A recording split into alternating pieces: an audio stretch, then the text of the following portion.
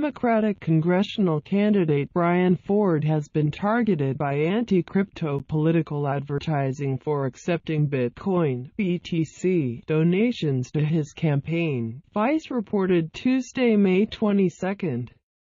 Forde's rival Dave Min, who is also running for the Democratic nomination for the upcoming congressional elections in California, circulated an ad suggesting that Forde's donors are Bitcoin speculators that oppose cracking down on drug deals and human trafficking.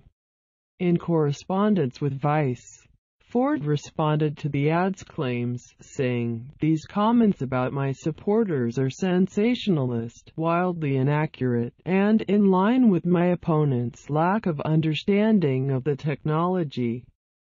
If they were speculating they wouldn't have donated to my campaign in Bitcoin. They didn't HODL, they donated to my campaign in Bitcoin because they believe in the technology. Forde who formerly advised the Obama administration on crypto and headed MIT's digital currency initiative, is a stalwart crypto advocate, leading Bloomberg to dub him the crypto candidate for Congress. According to Bloomberg, his campaign has attracted support from the likes of crypto community giants Mike Novogratz and the Winklevoss brothers. His opponent Min on the other hand is a former SEC attorney and current professor of law at the University of California, Irvine. While Min's ad disparages a technology he clearly doesn't understand, the United Nations uses it to address human trafficking. Forde told Bloomberg referring to a UN initiative for a blockchain-based digital identity system designed to combat child trafficking globally. We need more rational scientists and technologists in Congress armed with evidence-based policymaking, not politicians making irrational decisions based on their emotions, he stressed.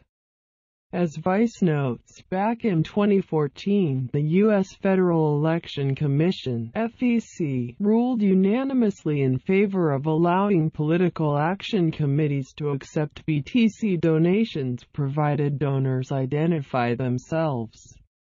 New Hampshire was the first U.S. state to implement the FEC 2014 rulings, with Colorado suggesting it will follow suit just this week.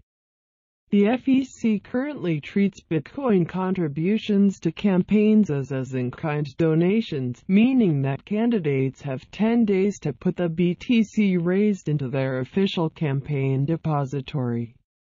As Cointelegraph has reported, the FEC has been assessing whether to amend its regulations so that virtual currencies would in future be treated like cash. Thank you for listening to my channel. Please subscribe for get hot news in the world.